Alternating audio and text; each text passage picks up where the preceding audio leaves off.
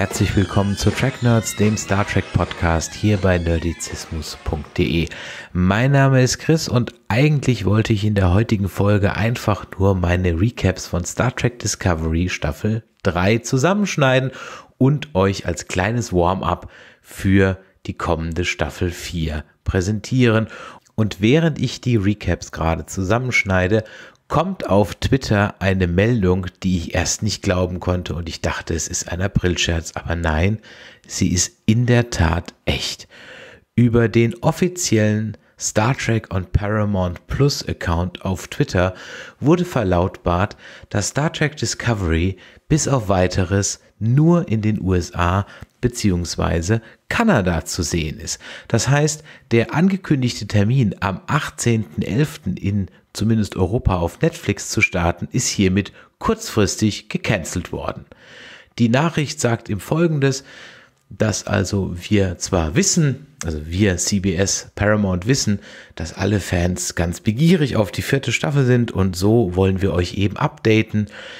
Das internationale Release der nachfolgenden Season 4 wird exklusiv auf Paramount Plus im Jahr 2022 sein. Das heißt, die neue Staffel und alle vorherigen Staffeln werden ab 2022 international nur bei Paramount Plus zu sehen sein, wenn Paramount Plus ausgerollt ist.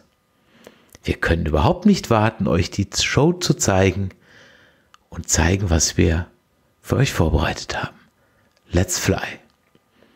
Und ich muss ganz ehrlich sagen, bei aller Kritik, die wir sonst an Discovery haben, das ist echt ein starkes Stück. Zwei Tage vor International Release die Nummer per Twitter zu canceln, ist echt ein Knaller. Also how to piss off fans online fast. Tja, ich bin wirklich sprachlos. Ich muss mich mit Michael mal besprechen, wie wir jetzt damit umgehen. Für uns Paramount Plus Account mit VPN holen, wir werden es sehen. Wir halten euch da auf dem Laufenden.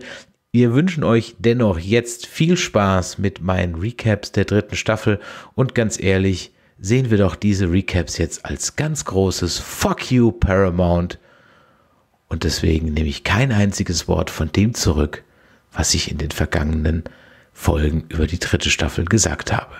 Viel Spaß. Folge 1, Staffel 3, Dead Hope is You. Part 1. Auf Deutsch ein Zeichen der Hoffnung Teil 1. Wir schreiben das Jahr 3188 und in einer Hommage an Lost sehen wir Desmond, der seiner täglichen Routine nachgeht. Aufstehen, waschen, essen, warten, schlafen, repeat. Seit 40 Jahren. Diese Zukunftsversion von Desmond heißt eigentlich Adithy Sahil und arbeitet für die Vereinte Föderation der Planeten und ist wohl eine Hommage an Christian Avasarala, die indische Präsidentin der Vereinten Nationen aus The Expanse. Vorspann und diese Staffel nur 19 Producer. Seit 2009 ist das Star Trek-Universum anscheinend voller Trümmer und Asteroidenfelder. So auch im Jahre 3188. In einer Hommage an Star Wars beobachten wir Obi-Wan aka Cleve Book Booker auf der Flucht vor Django Fett aka Cosmo Trade, dem Booker wohl ein bisschen Fracht gestohlen hat. In seinem fliegenden Brieföffner mit dem bezeichneten Namen Nautilus, einer Hommage an Jules Verne, rollt sich Book ganz schnell um die eigene Achse, denn das, so wissen wir von Klein Anakin, ist ein guter Trick. Dieser Trick hätte sicherlich auch reibungslos geklappt, allerdings hat der brave Buck die Rechnung ohne Ed Michaela gemacht. Die purzelt lämisch zum Erstaunen des Lando-Verschnitts aus einem temporalen Wurmloch und rumst in den unendlichen Weiten des Weltalls auch prompt mit der Nautilus zusammen. Und wie das eben so ist, wenn ein Mensch mit einem Raumschiff kollidiert, es stürzen beide ab. Immer. In der folgenden Szene beweisen die Macher dann wahre cineastische Größe, inszenieren sie doch eine simple Fressszene zwischen zwei Tieren als tolle Hommage an Return of the Jedi. Auf einem Planeten, der verdächtig nach Island aussieht, schlägt unsere Heldin also auf. Zwar meldet der Red Angel Anzug vorher noch, dass der drohende Aufschlag tödlich sei, die dumme KI hat allerdings vergessen, wer da in dem Anzug steckt und natürlich kann Ed Michaela sich selber retten. Nur leicht mitgenommen, fragt Bruchpilotin Burnham die Red Angel KI, ob es Lebenszeichen im Universum gibt, was diese bejaht. Die Mission aus Staffel 2 war also ein voller Erfolg. Michael setzt das letzte Signal und schließt damit das Wurmloch. Es folgen noch fünf Minuten fröhlich trauriges Overacting und dann macht sich Michael auf den Weg, um in Staffel 3 eine Star Trek Hommage an Gene Roddenberrys Andromeda abzuliefern. Auf der Suche nach Hilfe erreicht Michael die Nautilus. Diese ist als Hommage an den Planeten der Affen geradezu pittoresk an einem Seebruch gelandet. Und wie man das auch im Jahre 3188 ebenso macht, man hilft sich nicht, man redet auch nicht, sondern man haut sich als Hommage an Enemy Mine erstmal zünftig auf die Fresse. Als die Fronten dann geklärt sind, kann man dann endlich mal weitermachen. Und so erfährt Michael, dass das gar nicht Island ist und auch nicht Terralysium, sondern die ganze Chose hier Hima heißt. Ja, dann ebenso. Weiterhin erfährt Michael Burnham, dass die Föderation nahezu ausgelöscht wurde und nur noch ein Mythos, ja eine Art altertümliche Religion ist, seit einer, ein Ereignis genannt der Burn. Burn? Burnham? Hm, vor circa 120 Jahren alle Dilithiumkristalle der Milchstraße zeitgleich explodieren ließ. Als eine Hommage an das Ende von Mass Effect 3 zeigt uns dann also diese Staffel sicher eindringlich, was passiert, wenn interstellare Reisen auf einmal nicht mehr möglich sind. Da niemand die Memos von Scotty gelesen hat, wie man mittels atomgetriebener Kriegsschiffe Dilithium wieder aufbereiten kann, Tilly ihren Bericht über Königin Popo und deren Verfahren zur Rekristallisierung offensichtlich verschlammt hat und zu allem Unglück Starfleet die Akten über den Sporenantrieb neben der Bundeslade eingelagert hat, wusste also vor 120 Jahren niemand, was zu tun war und die Föderation zerbrach. Daher ist Dilithium nun die härteste Währung im 30. Jahrhundert. Äh, hat er aber nicht gerade eben gesagt, dass alles Dilithium explodiert ist? Äh, egal. Auf einer horizontalen Brücke, horizontale Brücke, der senkrecht abgestürzten Nautilus lernen wir nun Grudge kennen, die fette Katze von Book. Sollte diese sich später als Formwandler entpuppen, war auch sicher das nur eine Hommage an Goose aus Captain Marvel. Überhaupt ist Book ein großer Superhelden-Fan und hat daher seine Brücke als Hommage an Superman vom bekannten Stardesigner Jor-El ganz im kryptonischen Stil einrichten lassen. Da man nun neues Dilithium braucht, damit Buck seine Mission erfüllen kann, hofft man auf Bares für Rares im nächstgelegenen Ort. Dieser heißt bezeichnend Requiem. Wer sich da immer diese Namen ausdenkt, ja, ich weiß es echt nicht. Ne? Die Architekten dieser Stadt erschufen diese auch einst als Hommage an Blade Runner, Moss Eisley und der Zitadelle aus Mass Effect. Und unterwegs zieht Michael dann dem Book noch ein paar spärliche Infos zur aktuellen Lage der Föderation in der Galaxis aus der Nase. Und so erfährt sie, dass im 30. Jahrhundert die Jünger der Föderation nicht mehr sind als ein paar arme Irre, die im Sauseschritt durchs All düsen in Moss Eisley angekommen, der als Hommage an die Hutten von einem Joint Venture von Orion Syndikat und Andorianern betrieben wird, schummelt man sich an den üblichen Klischee-Filmwachen vorbei in den Marktplatz. Dann überschlagen sich allerdings die Ereignisse. Zuerst verrät Book Michael an das Syndikat, dann wird Booker als Hommage an Star Wars von Credo geschnappt. Im Knast bekommt Michael eine Überdosis Wahrheitspulver, welches aber, es ist ja immerhin noch et Michaela, natürlich nicht so wirkt wie normalerweise. Der guten Schauspielerin Sonique Martin Green allerdings die Möglichkeit zum Overacten präsentiert, die sie dann auch dankend annimmt. Umstände halber und natürlich, weil es die Story so will, verträgt man sich aber gleich wieder und stiehlt ein paar Krümel Dilithium und flieht gemeinsam vor den schießwütigen Mitgliedern des Syndikats. Die Waffen des Syndikats sind wahrscheinlich auch gerade aus einer Kiste direkt vom Haus Atreides von Dune geliefert worden. Die Hommage an die Schallmodule. Beamen reicht auch anno 3188 allerdings nicht mehr, denn was der First Order sein Hyperspace Tracking ist, das ist dem Syndikat sein Transporter Tracking. Für kurze Zeit kann man den Häschern dennoch entrinnen und etwas zur Ruhe kommen. Die braucht der Zuschauer auch, denn es wird Zeit für die zweite Expositionsbombe. In dieser erfahren wir, dass Zeitreisen aktuell nicht mehr möglich sind, da jegliche Technik in einem temporalen Krieg zerstört wurde und an jeder Sonne der Galaxis natürlich auch ein Wachposten steht, der verhindert, dass man mit seinem Raumschiff mal eben um die Sonne fliegt, um dann vielleicht doch eine Zeitreise äh, unternehmen zu können. Ach, und Buck ist übrigens auch Jesus, der im Auftrag von Space Peter unterwegs ist. Wer mehr über ihn und seine Mission erfahren möchte, der schaut einfach Star Trek 4 und ersetzt Wale mit Transwürmern. Dann hat er in etwa die gleiche Story. Ähm, ihr kennt Transwürmer etwa nicht? Die waren doch früher überall im Universum. Habt ihr in Exobiologie mal wieder gepennt? Am Schiff angekommen sind die Orioner schon da. Man reißt ein paar schale Witzchen über Passwörter, bevor Book aka nun Dr. Doolittle den Transwurmkraken freilässt. Ich persönlich finde allerdings, dass der gute Bock hier einem Irrtum unterliegt, denn vielmehr scheint es sich bei der Kreatur um einen gefräßigen Plapperkäfer vom Planeten Tral zu handeln, denn der Käfer vom Planeten Tral ist ein zum Verrücktwerden dämliches Vieh. Es nimmt an, dass man es nicht sieht, es kann dich auch nicht sehen, bescheuert wie eine Bürste, aber sehr gefräßig. Man kann sich allerdings vor dem gefräßigen Plapperkäfer schützen, indem man sich ein Handtuch vors Gesicht bindet. Sollte man das versäumen, so erwarten einen weit aufgesperrte an gifttriefenden Zähnen. Dummerweise sind diesem Plapperkäfer schon viele Touristen zum Opfer gefallen, weil sie einen Artikel im Anhalter, der durch die Galaxis zu wörtlich genommen haben.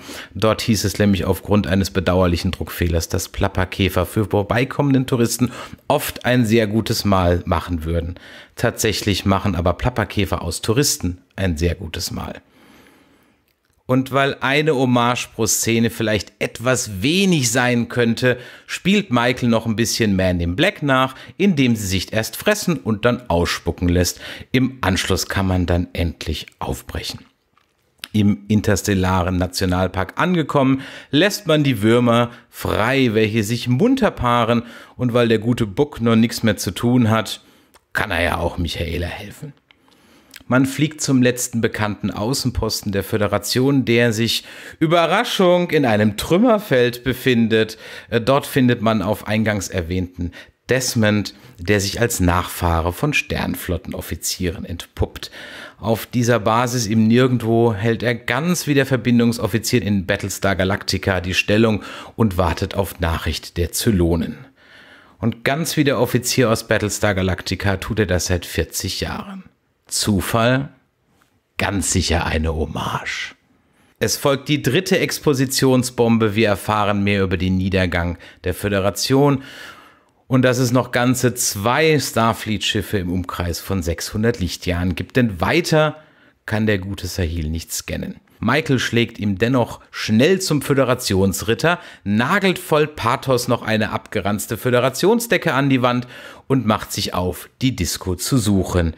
Die ist nämlich in der Zeit verschütt gegangen. Bodycount in dieser Folge sechs Tote. Folge 2. The Hope is You Part, ach nee, Far From Home? Fern der Heimat. Da ist sie, die Disco, und landet, surprise, surprise, in einem Asteroidenfeld. Ich wette, jetzt, wo ich es euch erzählt habe, werdet ihr es nie wieder wegschauen können. Da Zeitreisen nicht nur dick, sondern auch bewusstlos machen, ist niemand auf der Brücke in der Lage, die Schilde rechtzeitig auszufahren. Also knallt die Disco mit Karacho in die Trümmer eines explodierten Planeten, wird schwer beschädigt, inklusive herumfliegenden Steinen auf der Brücke und schmiert was auch sonst natürlich ab. Als Hommage an Generations taugt die Bruchlandung allemal. Nachdem sich alle wieder berappelt haben und wir alle Crew-Mitglieder nochmal namentlich vorgestellt bekommen. Also da, vielen Dank, Saru, macht man sich ans Werk, die Disco aus dem Dreck beziehungsweise parasitärem Eis zu befreien. Eis, welches sich ausdehnt, wenn es außen dunkel wird. Bis auf Detmar, die sich zunehmend seltsamer verhält, und Reno, die jetzt Rücken hat, äh, scheinen alle den Aufprall gut überstanden zu haben. Sogar Imperatorin Giorgio gibt schon wieder fleißig Befehle und tritt beim Rumstolzieren sogar in die Überreste des KI-Würstchens Control, welches von einem armen Crewmitglied namens Gene aufgewischt werden muss. Da hätte sich Gene Roddenberry sicher gefreut, so mal erwähnt zu werden. Da alle, nahezu alle Systeme der Disco sind außer Funktion, keine Waffen, keine Scanner, kein Funk, kein Antrieb. Daher hat man auch keine Ahnung, wo und vor allem wann man sich befindet. Jetzt heißt es also klotzen und nicht kleckern. Dank Tilly erfährt Saru, dass es eine benachbarte Siedlung gibt und dass es auch Leben gibt, also weiß die Disco Crew nun, dass der Plan aufgegangen ist.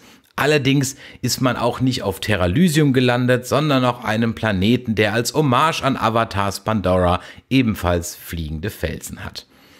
Auf der Krankenstation muss der aus der letzten Folge der zweiten Staffel schwer verletzte Stammet sein Krankenbett räumen. So ist das eben, wenn man nur Kassenpatient ist. Immerhin darf er eine neue experimentelle Regenerationskammer ausprobieren. Die hilft allerdings anscheinend nicht beim Rücken. Ärgerlich für Reno. Also muss der gute Paul den Rest der Folge in Jeffreys Röhren herumklettern, während Reno von außen neunmal kluge Ratschläge klippt, also praktisch so wie auf jeder guten deutschen Baustelle. Da man zur Reparatur des Schiffs ein paar Mineralien und Kristalle benötigt, macht man sich auf, diese in der nahegelegenen Siedlung zu beschaffen. Zwar möchte Imperator Giorgio auch mitkommen, wird allerdings von Saru zur Reparatur des Schiffes abkommandiert.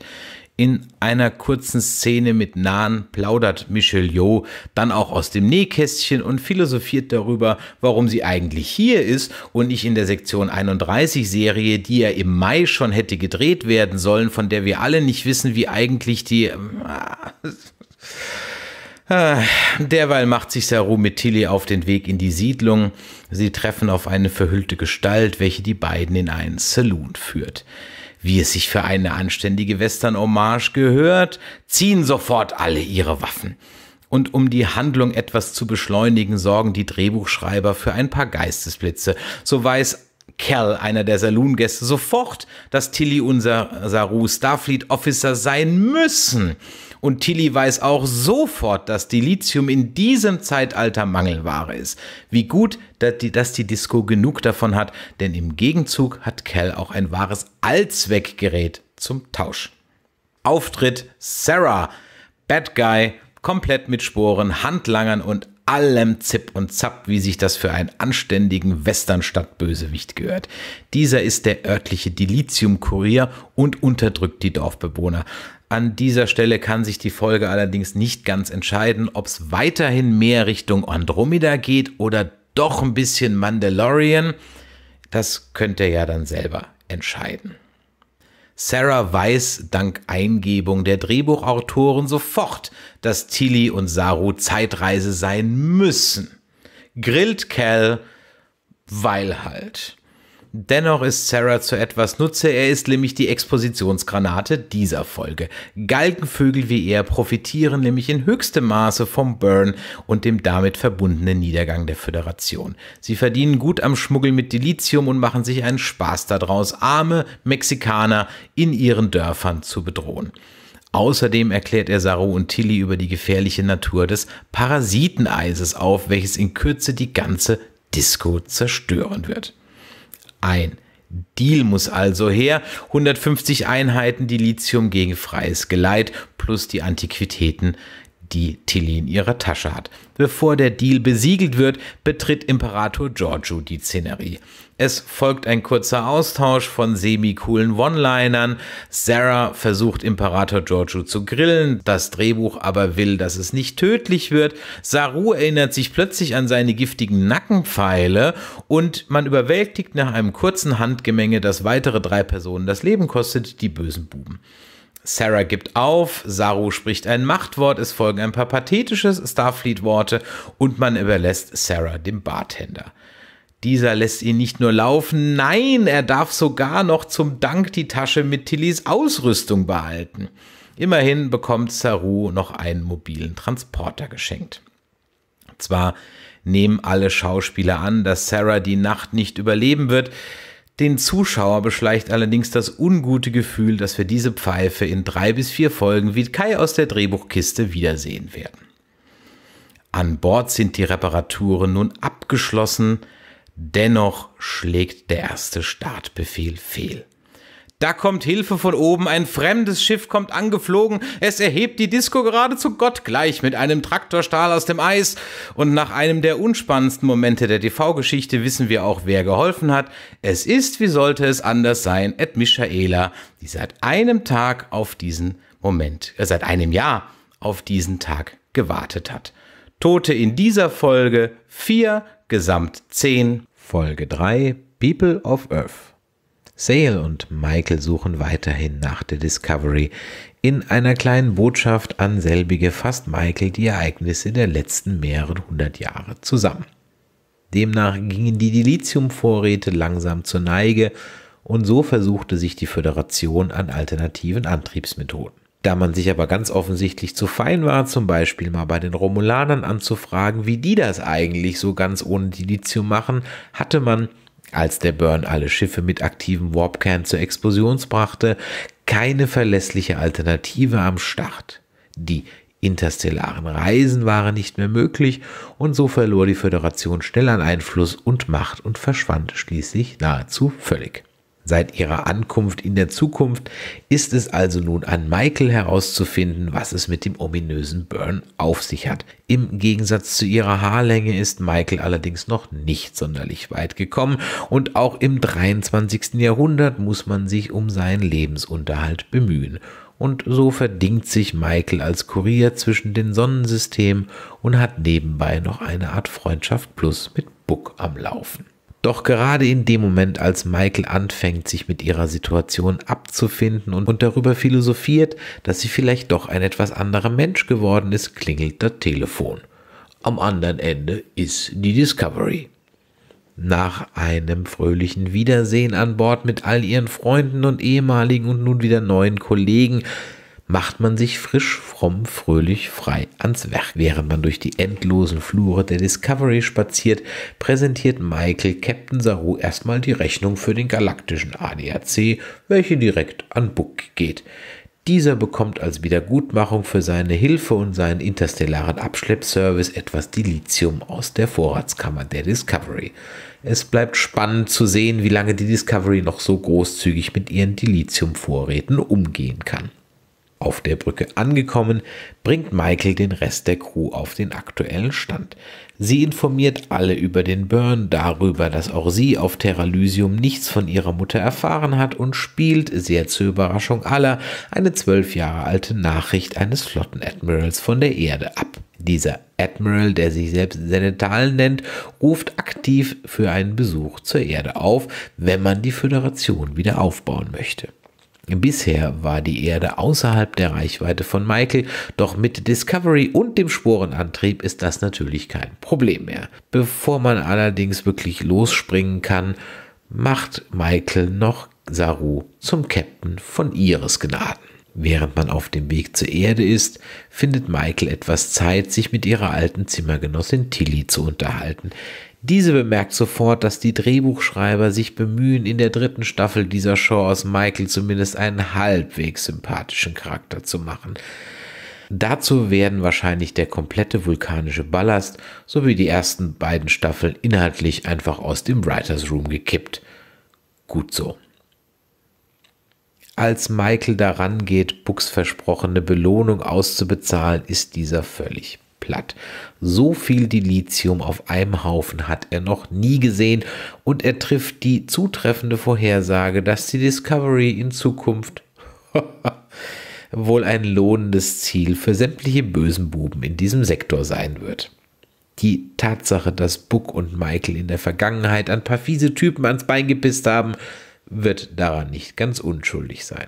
Damit die Dilithium-Vorräte der Discovery möglichst lange ein Geheimnis bleiben, schlägt Michael vor, alles in Books Schiff zu verfrachten und dieses im Hangar der Discovery zu tarnen. Wie der Zuschauer auch, hat Captain Saru erhebliche Probleme mit diesem etwas komischen Plan. Immerhin gibt man seine gesamten Dilithiumvorräte einem völlig Unbekannten in die Hände.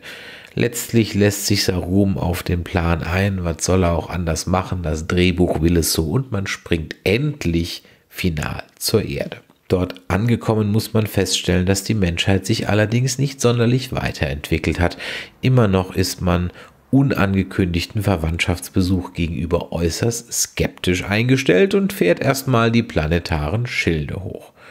Obwohl die zuständige Sicherheitschefin der Erde, Captain Endoya, die ziemlich dünne Räuberpistole über die Herkunft der Discovery nur so halbwegs abkauft, wird das Schiff erstmal einer Inspektion unterzogen. Damit auch gar kein Verdacht aufkommt, wird Book kurzerhand in eine Sternenflottenuniform gepackt und auch Giorgio bekommt ein Upgrade und macht sich flugs einfach selbst zum Admiral. Im Maschinenraum liefert sich Stamets derweil einen Disput mit der 16-jährigen Adira. Diese gehört zur Inspektionscrew der Erde und scheint, sehr zum Missfallen des guten Doktors am Sporenantrieb besonderes Interesse zu haben. Im Bereitschaftsraum muss Captain Ndoya die zweite Expositionsbombe zünden, um den Zuschauer auf den neuesten Stand zu bringen.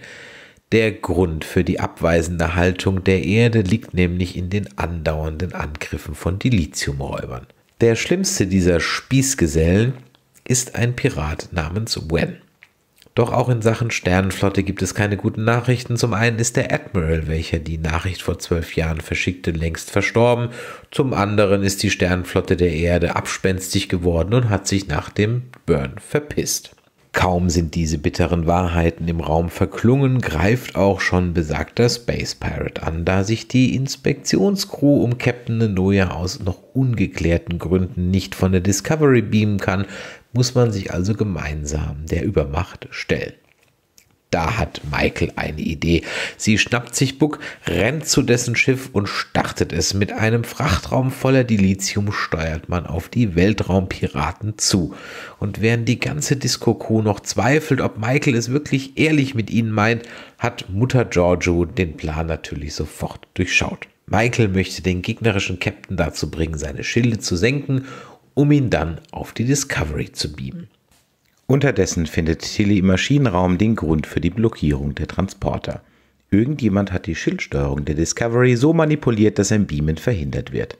Stamets hat sofort Adira im Verdacht. Er findet sie in einer der Jeffreys-Röhren und stellt sie zur Rede. Diese gibt die Manipulation unumwunden zu, hat aber auch gleichzeitig ein paar Fragen an Stamets, denn die Geschichte, die Saru aufgetischt hat, kann nicht stimmen. Nun, wissen wir immerhin, dass Adira den Admiral kennt und an Bord der Discovery bleiben möchte. Jetzt könnte es natürlich auch sein, dass der gute Stamets einfach nur ein bisschen Vertrauen aufbauen will. Aber ist es deswegen gleich nötig, sämtliche Geheimnisse der Discovery zu verraten? Wie dem auch sei, Michaelas Plan ist natürlich aufgegangen. Der Space Pirate wird in den Ready Room gebeamt und siehe da, es ist gar kein Alien, nein, es ist ein Mensch. Und jetzt, liebe Freunde, folgt etwas, von dem wir gar nicht mehr dachten, dass es in Discovery jemals stattfinden wird. Es wird verhandelt. Ja, die Diplomatie ist zurück in Star Trek. Wer hätte das gedacht? Und kaum redet man miteinander, werden sofort Missverständnisse aus dem Weg geräumt. So sind die Space Piraten überhaupt keine Piraten, sondern eigentlich nur verzweifelte Bewohner des Mondes Titan. Diese haben vor etlichen Jahren jegliche Kommunikationsmöglichkeit mit der Außenwelt verloren und schickten daher ein Schiff zur Erde. Dieses wurde jedoch auch versehentlich abgeschossen, weshalb man nun dachte, die Erde wäre feindlich gesinnt. Wie heißt es so schön? Nur sprechende Menschen kann geholfen werden. Der Konflikt ist gelöst und die Erdencrew kann die Discovery verlassen. Adira möchte allerdings an Bord bleiben und erhält dafür auch die Erlaubnis. Zum Dank erklärt sie der verdutzten Disco Crew, dass sie der Admiral aus der ominösen Botschaft ist. Sie ist nämlich ein halber Trill. Bevor wir auf diese Folge einen Deckel machen können, stehen allerdings noch einige Entscheidungen an. So wird Michael erster Offizier der Discovery, muss sich aber gleichzeitig von Book verabschieden, den es dann doch wieder in die unendlichen Weiten des Weltraums zieht. Wir lernen weiterhin, dass die Erde immer noch ein idyllischer Ort ist und sogar der Generationenbaum der Sternenflottenakademie ist immer noch intakt. Immerhin scheint es, als würde sich die Serie hier endlich von den Andromeda Vibes verabschieden. Folge 4 Forget Me Not. Diese Folge wird wirklich anders, ja geradezu klassisch. Das liegt unter anderem am Aufbau der Folge, welche der traditionellen AB-Story-Formel folgt. Beginnen wir mit Dr. Kalber, ihr wisst schon, den Mass Effect Doktor und seinem persönlichen Computerlogbuch. Ein Computerlogbuch. Zu Beginn einer Folge, dass wir das noch erleben dürfen. Die Stimmung an Bord der Disco ist wirklich mies. Zwar versucht der gute Doktor alles daran, das zu ändern, aber besonders an Detmer kommt er wirklich nicht heran. Nicht ran kommt auch Adira nämlich an die Erinnerungen der früheren Werte ihres Symbionten. Man vermutet, dass entweder ein Trauma oder der Umstand, dass Adira ein Mensch und kein Trill ist, dahinter stecken. Die Informationen der Wirte, besonders die von Admiral Senetal, sind allerdings für den Erfolg der Mission entscheidend. Da Adira sich auch sonst an wenig erinnern kann, beschließt man, dem Planeten Trill einen Besuch abzustatten. Da man nur 45 Minuten Zeit hat, bedarf dies eines weiteren Sprunges und so macht sich Saru Sorgen um die Verfassung von Stamets. Die Drehbuchschreiber übrigens auch, fürchten sie doch nichts mehr, als in einer erzählerischen Sackgasse zu landen, wenn der Antrieb nur von einer Person bedient werden kann. Und weil dunkle Materie immer gut klingt, gibt der Writers Room Saru die Eingebung, Stamets mit der Suche nach einer alternativen Steuerungsmethode zu betrauen. Der gute Paul war ohnehin kurz davor, etwas zum Größenwahn zu neigen. Aber Moment, war da nicht was mit Wesen im Myzel-Netzwerk, die vom Sporenantrieb vernichtet. Äh, egal. Jetzt hätte man aus dieser Episode eine schöne Dr. Kalber hilft Adira-Folge machen können. Aber weil Ed Michaela auch was zum Donnen haben muss, bittet der Doc Michael eben für den Rest der Folge auf den Host und Symbionten aufzupassen. Schade, Chance vertan. Auf Trill ist der Empfang zunächst herzlicher als auf der Erde, sind die Symbionten der Trill doch durch die Auswirkungen des Burns nahezu ausgestorben. Als die Trill jedoch erfahren, dass einer ihrer Symbionten in einem Menschen steckt, kippt die Stimmung erheblich. Auf Trill ist die Vereinigung nämlich so ein ziemlich wichtiges Ding für alle und man ist daher not amused, dass dieser Symbiont schon vergeben ist. Entbrennt eine kurze, aber heftige existenzielle Diskussion zwischen dem religiös geprägten und dem politischen Flügel der Trill-Regierung. Während die Fundis den Symbionten notfalls auch mit Gewalt aus Adira entfernen wollen, denken die Realos weiter über die Trill als Hosts hinaus. Zwar gäbe es in den heiligen Höhlen von Trill durchaus eine Möglichkeit, mit dem Symbionten in Kontakt zu treten, aber Ungläubige haben dort keinen Zutritt. Ende der Diskussion. Schönen Tag noch. Da kennen die Trill aber Michaela nicht, die sich kurzerhand mit Waffengewalt Zutritt zum Allerheiligsten des Planeten verschafft. Und wenn ihr jetzt ganz leise seid, könnt ihr JL im Grab rotieren hören. An Bord der Disco versucht Saru etwas gegen den gefährlichen hohen Stresslevel seiner Crew zu unternehmen. Da Saru keine rechte Idee hat, befragt er den Computer. Doch auch dieser hat außer dem üblichen 0815 Teambuilding-Gedöns irgendwie keine brauchbaren Einfälle. Als Saru allerdings darauf insistiert, erscheint, natürlich im Rücken von Saru, plötzlich das Space Google Monster im Display und hat die phänomenale Idee, ein freier Abend für alle und ein gemeinsames Abendessen der Brückencrew wäre doch eine wirklich gute Idee. Echt jetzt? Das ist alles, was einer Entität mit dem Wissen des kompletten Universums einfällt? Ein freier Abend und ein Abendessen? Okay, wir nennen dich ab sofort Jarvis. Naja, besser als nichts. Allerdings läuft das Dinner eher wie eine normale Familienfeier ab. Der Imperator gibt den niveaulosen Onkel, während bei Detmar PTSD voll durchbricht und ihre geschmacklosen Haikus über Stamets den Abend zu einem jähen Ende bringen. Zurück in den Höhlen von Trill taucht Adira immer tiefer in ihren Symbionten ein, und zwar wortwörtlich. Allerdings tut ihr die Verbindung nicht gut und ihre Vitalzeichen sinken rapide. Also springt Michaela, die zu Beginn der Folge überhaupt nichts über die Trill wusste, mal eben ins heilige Planschbecken und versucht Adira zu retten. Im Bewusstsein von Adira und dem Symbionten angekommen, hilft sie Adira dabei, die verdrängten Erinnerungen zu sehen und sich ihr zu stellen. Was nun folgt, das meine ich völlig ironiefrei, ist das Beste, was Star Trek Discovery bisher hervorgebracht hat. Wir erfahren, dass Adira mit einem vereinigten Trill namens Grey liiert war. Der gute Grey kommt jedoch bei einem Unfall ums Leben und bittet im Sterben liegend durch eine Transplantation wenigstens den Symbionten und damit ein Stück weit auch sich selbst zu retten. Als Adira sich diesem Trauma stellt, platzt der Knoten und alle früheren Hosts inklusive Admiral Senetal erscheinen. Und nun erfahren wir auch den Namen des Symbionten. Tal. Die Trill sind baff, dass die Vereinigung mit anderen Spezies doch so gut gelingen kann und überlegen sich nun etwas offener dem Ganzen gegenüber zu zeigen. Man wünscht Michael und Adira alles Gute bei der Suche nach der Föderation und man soll doch auf jeden Fall Bescheid sagen, wenn man diese gefunden hat, dann würde man auch gerne wieder mitmachen. Äh, bitte Hilfe bei der Suche? Wir jetzt? Nee, also heute ist jetzt echt gerade schlecht. Wir müssen dann auch los. Tschüss!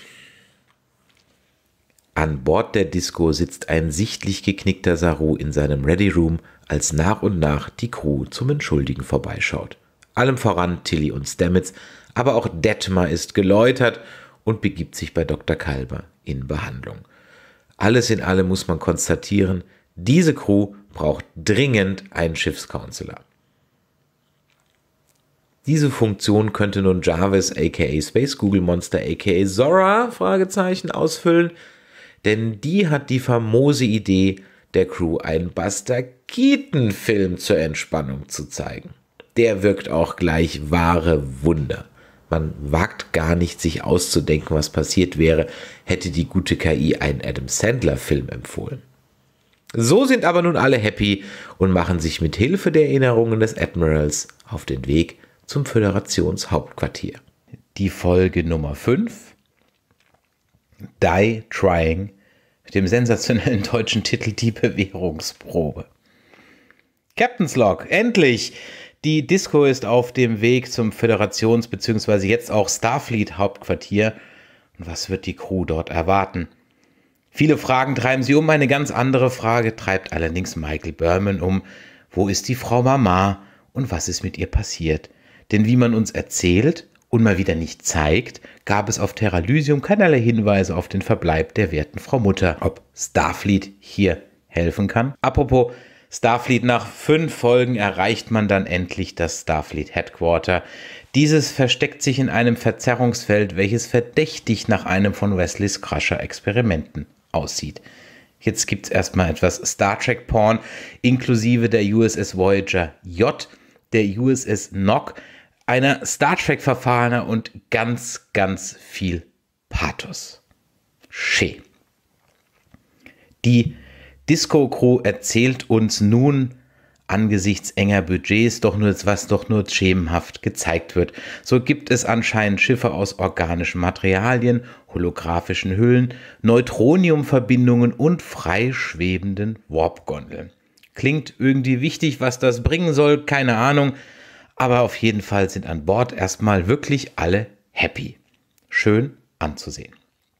Im Headquarter angekommen, treffen Saru und Co. auf Admiral Charles Vance. Besagter Admiral ist ziemlich kurz angebunden und macht nicht gerade den Eindruck, als würde er sich über die Ankunft der Disco sonderlich freuen. Immerhin bringt er die Crew auf den neuesten Stand. So ist zum Beispiel Kaminar nun Mitglied der Föderation, sehr zur Freude von Saru. Allerdings sind von ehemals 350 Mitgliedern nur noch 38 übrig und auch die sind nicht sonderlich gut erreichbar. Dazu treibt die Smaragdkette, ja, die deutschen Übersetzungen sind wieder klasse, gut, in dem Fall wortwörtlich, ein Verbrechersyndikat aus Orion, Orionern und Andorianern im Sigma-Draconis-System sein Unwesen. Die weit überlegenen Scanner der Zukunft erkennen auch sofort, Adiras Symbionten als Tal und man steckt sie daher zwecks weiterer Untersuchungen erstmal auf die Krankenstation. Dumm nur, dass Sickbay gerade rammelvoll mit kontaminierten Aliens ist, welche sich einen fiesen Virus eingefangen haben und spätestens in vier Stunden alle sterben, sollte kein Heilmittel gefunden werden. Da ist er wieder, der unsinnige Countdown der heutigen Folge. Michaela, die seit einer gefühlten Ewigkeit, also drei, vier Minuten vom Drehbuchschreiber nichts mehr sagen durfte, erkennt ihre Chance und spielt sich auf ziemlich unangenehme Weise gleich mal wieder in den Mittelpunkt. Sie übergeht mal eben Captain Saru und haut den Admiral ziemlich fremdschämmäßig von der Seite an. Der findet das ungebührliche Verhalten ebenfalls unlustig und reagiert entsprechend irritiert. Die Verwunderung hält an, vor allem als ihm die Disco Crew die Story vom Pferd also nee, vom Red Angel, Control, Space Google Monster und Mama Burnham erzählt. Auch wenn die Geschichte für den Admiral ziemlich hanebüchen klingt, hier durchlebt der Admiral exemplarisch für den Zuschauer noch einmal den Mumpitz der zweiten Staffel. Die hinzugezogene Holo-KI zumindest bestätigt, dass Michael und Saru nicht lügen. Das ist auch wichtig, denn die Ende der zweiten Staffel getätigten Vertuschungsmaßnahmen von Starfleet waren sehr erfolgreich. Niemand weiß was von der Disco, dem Sporenantrieb Control oder dem Red Angel. Sektion 31 war also da wirklich erfolgreich. Dazu gibt es etwas Exposition über einen temporalen Krieg, in dessen Verlauf alle Zeitreisegeräte vernichtet bzw. verboten wurden. Daher ist allein schon die Anwesenheit der Disco ein Verbrechen und kurzerhand beschlagnahmt der Admiral das Schiff, um es General zu überholen und neu bemannen zu lassen. Wenn auch nicht gerade begeistert, fügt sich Saru den Anordnungen des Admirals, sehr zum Unverständnis der kleinen Michaela, welche ein wie ein störrisches Kind versucht, Saru dazu bewegen, die Anweisungen des Admirals zu beachten, missachten und auf eigene Faust den kranken Aliens zu helfen. Zum Glück spielt Saru nicht mit. Stattdessen hat er die unangenehme Aufgabe der Crew mitzuteilen, dass sie abgemustert wird und sich neuen Aufgaben widmen muss. Tja, gerade eben noch gejubelt und schon wieder ganz unten. Obwohl im Hintergrund die Uhr tickt, werden nun erstmal alle Crewmitglieder einem Verhör durch Holo-KIs unterzogen. Und noch einmal werden die Zuschauer an den Fats aus Staffel 1 und 2 erinnert – so müssen die Autoren immer wieder Salz in die Wunde streuen. Immerhin erscheint aus dem Nichts David Cronenberg und bandelt mit Emperor Giorgio an. Allerdings kann auch der coole David den Unsinn eines Hologramms mit Strabismus und einer erfolgreichen Abschaltung der KI durch schnelles Blinzeln nicht retten. Wer denkt sich bitte so einen Unsinn aus? Derweil findet man den Grund für die kranken Aliens. Die haben sich nämlich an vergifteten Essen den Magen verdorben und brauchen nun das gleiche Futter nochmal, nur unkontaminiert. Michael nervt nun alle im Starfleet Headquarter, um an Informationen über die Flugplan der, der kranken Aliens zu bekommen, denn mit dem Sporenantrieb könne man ja schließlich sofort überall hinspringen. Wait, what? Hat sie gerade ihr Top-Secret-Geheimnis öffentlich ausgeplaudert? Äh, egal. Ebenso egal ist es den Autoren, dass Michael als einzige im Raum Infos über die USS Tekoff hat. Die ist ein altes Tresorschiff, welches Samen aller Pflanzen der Galaxie, Samen aller Pflanzen der Galaxie, also sie sagt wirklich Galaxie, okay, gebunkert hat. Dort könne man sich unverdorbenes Futter bzw. Samen finden. Da fällt es auch Vance wie Schuppen aus den Haaren und erinnert sich spontan an das Schiff. Er hat sogar die Koordinaten im Kopf, das ist allerdings sehr weit weg, was aber wurscht ist, denn schließlich gibt es ja jetzt den Sporenantrieb und weil der alte Kahn mit der alten Crew besser läuft, dürfen Detmar, Stamets, Tilly und Co. wieder an Bord. Und damit Michael auch wirklich glänzen kann, bleibt Saru als Captain natürlich im Headquarter zurück. Ist klar. Noch drei Stunden. An den Koordinaten der Teckhoff angekommen, stellt man fest, dass diese in einem Ionensturm festsitzt. Und obwohl PTSD Detmar am Steuer sitzt, schafft man es, die Teckhoff zu bergen. Beim Scannen der Logbücher stellt man fest, dass eine Familie vom Planeten Barsan als letzte das Schiff betreut hat. Wie passend, dass es mit Nahen eine Barsanerin an Bord gibt. Man beamt also an Bord und Nan kann endlich ihre Atemhilfe loswerden, während die Disco Crew über eine unsichtbare Atemhilfe verfügt. Also sie ist kurz zu sehen, aber wird dann aus Kostengründen einfach nicht mehr eingeblendet. Im Starfleet Headquarter freundet sich Imperator Giorgio Deval mit David Cronenberg an und man tauscht kleine Sticheleien aus. Wir erfahren, dass das Spiegeluniversum schon lange nicht mehr aufgetaucht ist und diese Info scheint Imperatorin Giorgio zu triggern. Und was es mit Davids Tony Stark Brille auf sich hat, werden uns die Autoren vielleicht noch zeigen, vielleicht aber auch nicht. Auf jeden Fall ist seitdem Imperator Giorgio völlig neben sich. Zurück auf der Tekov entdeckt man eine alte Logbuchaufnahme der Basan-Familie von Dr. Addis. Dem aufmerksamen Zuschauer fällt sofort die Melodie auf, welche die Basan-Mutter summt. Sie ist nämlich identisch mit dem Musikstück, welches auch Adira auf dem Cello spielt. Als man die Situation bzw. die Station näher untersucht, findet man die Basan-Familie tot und eingefroren. Und so langsam kommt das Außenteam naja, also eher Michaela, hinter das dunkle Geheimnis von Dr. Freeze. Der ist nämlich dank seiner einer massiven Sonneneruption nicht mehr in Phase und schwer verstrahlt.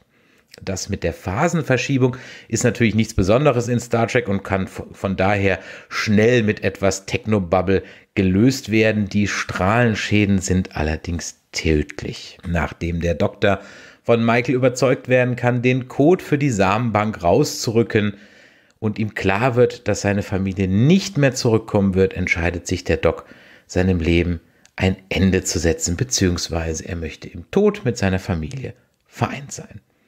Nan möchte ihrem Landsmann zur Seite stehen und entscheidet sich ebenfalls an Bord zu bleiben, um das Schiff zurück nach Basan zu bringen.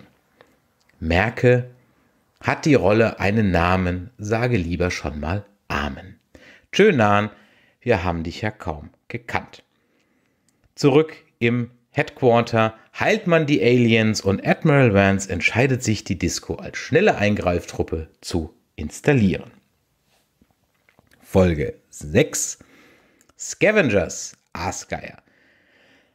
Die Disco ist kernsaniert und bekommt, warum auch immer, als neue Registriernummer zusätzlich zur NCC 1031 noch ein großes A auf die Hülle gepinselt. Die Gondeln schwingen nun frei, was das Schiff angeblich manövrierfähiger machen soll. Die programmierbare Materie von Krypton hat es auch in die Schiffssysteme geschafft. Und endlich werden auch alle Schriften der holographischen Anzeige auf der Brücke nicht mehr spiegelverkehrt, sondern richtig rum dargestellt. Die Daily Briefings laufen allerdings weiterhin sehr Starfleet-mäßig ab. Jeder Captain bekommt seinen Planet of the Week und die Disco findet sich als schnelle Eingreifpuppe wieder. Die Crew bekommt sogar die coolen Com-Badges direkt aus Minority Report, wahre Alleskönner. Interface, Tricorder, Handy und sogar ein persönlicher Transporter, mit dem man ganz schale Witzchen machen kann, sind in diesem kleinen Com-Badge vereint. Alles könnte so schön sein, wäre da nicht Bookers Schiff, das unvermittelt eintrifft und eine Nachricht für Michael abspielt. Help me, Obi-Wan Michael Burnham, you are our only hope. In dieser drei Wochen alten Aufzeichnung teilt Book mit, dass er von einer Blackbox eines Föderationsraumschiffes gehört habe, welches Michael sucht, beziehungsweise die Blackbox sucht Michael. Mit dieser dritten Blackbox könnte man sofern nicht alle Schiffe gleichzeitig im Burn explodiert sind, die zeitliche Verschiebung messen und so den Ursprung des Burns triangulieren und hinter das Geheimnis kommen. Äh, nein, kann man nicht. Mit drei Signalen kann man im dreidimensionalen Raum nichts triangulieren. Triangulation bedeutet, wie der Name schon sagt, von drei Punkten ausgehen und das funktioniert nur im zweidimensionalen Raum. In einem dreidimensionalen Raum hätte man zwar einen Punkt, aber es gibt immer noch unterschiedliche Dimensionen, sodass es mich wirklich nicht viel weiterbringt. Herrgott, nochmal, was lernen die bitte auf der Akademie? Aber halt, das ist ja auch das Universum, in dem Sternschnuppen im Vakuum entstehen können. Ja, okay. Und seit wann überhaupt sucht Michael nach Blackboxes? Und wieso hat sie überhaupt schon zwei? Show verdammt nochmal. Don't tell. Michael möchte also umgehend los und die Blackbox auf einem Planeten namens Han Hau finden. Dumm nur, dass die Disco halt Bereitschaft hat und nicht mal eben kurz irgendwo hinspringen kann also machtet Michaela, wartet Michaela ebenso macht. Sie schnappt sich Emperor Giorgio und Book Schiff und verlässt unerlaubt mal wieder ihren Posten. Unterwegs vertiefen die beiden ihre seltsame Beziehung. Michael verplappert sich in Sachen Liebe und Emperor Giorgio hat kurze Flashbacks an ihre Zeit als Herrscherin des Terranischen Reiches. Allerdings scheinen das sehr traumatische Erlebnisse zu sein. Als man den Subraum verlässt, landet man in einem, ihr ahnt es schon, Trümmerfeld. Ah. Der Planet Hanau ist nämlich eine 1 zu 1 Kopie der Zeche Zollverein, nur mit weniger Grünzeug und wird von einer orionischen Ausgabe von Ramsey Bolton geleitet. Da Emperor Giorgio Dilithium als Tauschware anbieten kann, erhält man natürlich sofort Landeerlaubnis. Mittels eines umfunktionierten Trackingshalsbandes der Katze versucht Michael Book zu finden. Das ist auch bitter nötig, dient der Schrottplatz doch als, als Location für ein Reenactment vom Running Man. Und wie in Anis ollem 80er Schinken tragen auch hier die Sklavenarbeiter Sprengsätze um den Hals, welche bei einem Fluchtversuch explodieren, was uns von einem unglücklichen Recon-Double auch eindrucksvoll demonstriert wird. Auf der Disco macht sich Erdera derweil Gedanken, wie man die Produktionskosten der Serie weiter senken und potenzielle Plotholes fixen könnte.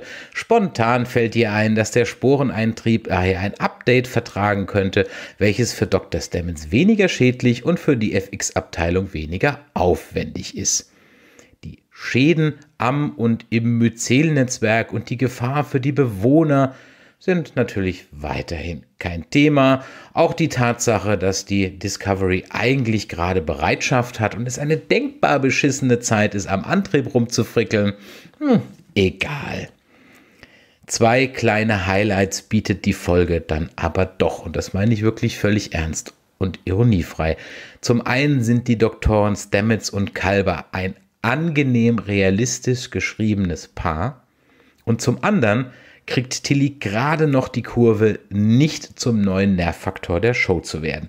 Sie ist nämlich mit Captain Saru der Meinung, dass man das Verhalten von Michael nicht länger durchgehen lassen kann und man den Admiral darüber informieren muss. Endlich sagt's mal einer. Außerdem ein Highlight dieser Show, Adira. Und ganz ehrlich, Adira ist mein Favorite bisher in der ganzen Serie, zusammen mit Zoe. Zurück im Landschaftspark Duisburg hat Michaela inzwischen The Book gefunden und da man noch circa 25 Minuten Laufzeit der Folge hat, zettelt man umgehend eine Revolte an, welche nach einigen Rempaleien mit Smaragdkettenwachen und trotz fataler Flashbacks von Emperor Giorgio auch glückt. Da diese Flashbacks allerdings beinahe den Erfolg der Mission gefährdet hätten, stellt Michael Giorgio zur Rede und diese gibt zu, seit einiger Zeit darunter zu leiden und es wird zusehends schlimmer. Michael bietet ihre Hilfe an, die Michel allerdings mit dem Verweis auf den Verrat der Spiegel Michael ablehnt. Das macht zwar überhaupt keinen Sinn, weil das grundverschiedene Personen sind, aber egal. Michael bekommt von Buck den Datenzylinder mit der Blackbox und zum Dank knutschen die beiden endlich mal rum. Da sind die ein Jahr lang um, unterwegs, brauchen aber dann die fünfte Folge, bis es endlich, die sechste Folge, bis es endlich mal funkt. Beim Debriefing im Starfleet Headquarter überkommt den Zuschauer das ungute Gefühl, dass Ed Michaela mal wieder mit ihrem Verhalten durchkommt, hat sie doch immerhin wertvolle Informationen im Austausch beschafft. Aber nein, der Admiral ist stinksauer, Saru kündigt Michael die Freundschaft, Tilly straft Michael mit Nichtachtung und die Crew wendet sich von ihr ab. Man degradiert die Michaela, entlässt sie unehrenhaft, setzt sie auf einem einsamen Asteroiden mit einer Flasche Synthehol und einem Phaser mit einem Schuss aus. nee, Spaß. Natürlich kommt Michael ungeschoren davon. Immerhin Saru hat die Faxen dicke und degradiert Michael zum einfachen Wissenschaftsoffizier.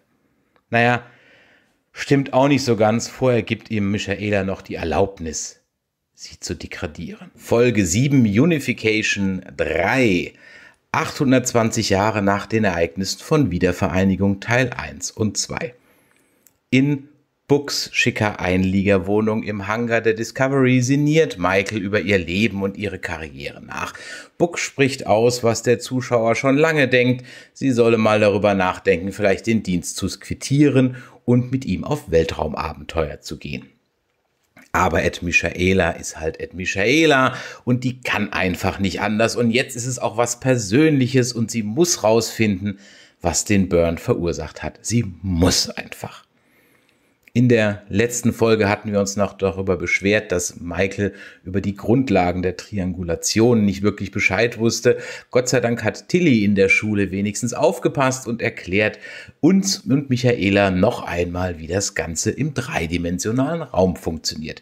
Es fehlen schlicht noch weitere Werte, um den exakten Ursprung des Brandes zu bestimmen. Trotzdem findet man schon mal raus, dass die Explosionen zeitlich verzögert stattgefunden haben, wenn auch nur im Bereich von wenigen Millisekunden.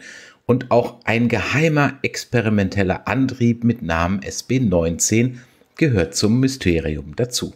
Stolz wie ein nerviges Streberkind rennt Ed Michaela zum Admiral und prahlt erstmal mit ihrer Entdeckung.